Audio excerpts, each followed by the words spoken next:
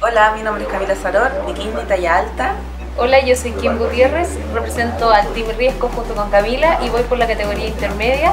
Vamos con todo para este nacional y les dejamos los mejores ejercicios para mejorar los glúteos y las piernas, así que vamos a entrenar.